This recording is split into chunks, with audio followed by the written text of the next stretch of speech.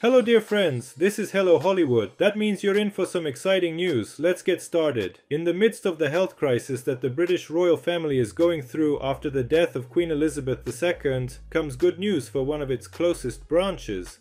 Princess Beatrice, daughter of the Duchess of York, revealed that her mother, Sarah Ferguson, is feeling much better, after we learned earlier this year that she had been diagnosed with skin cancer. Only this year, King Charles let it be known that he was diagnosed with prostate cancer, while a few days later, we were shaken to learn that the Princess of Wales, Kate Middleton, is suffering from an undisclosed type of cancer. However, in the case of the Duchess of York, she seems to have been spared from the disease after treatment, according to the testimony of Princess Beatrice during an interview on British television. The Duchess of York's health has been up in the air since last year, as she not only had to deal with this skin cancer treatment, but also had to be treated for breast cancer in 2023. In addition, she previously had to undergo an operation to remove several moles and was found to have a malignant melanoma.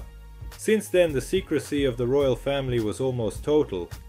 However, Beatrice explained that the disease was detected in its early stages during a reconstructive surgery for breast cancer and assured that her mother has been progressing satisfactorily. So far, everything is fine regarding her mother's last visit to the operating room, which took place last March 2.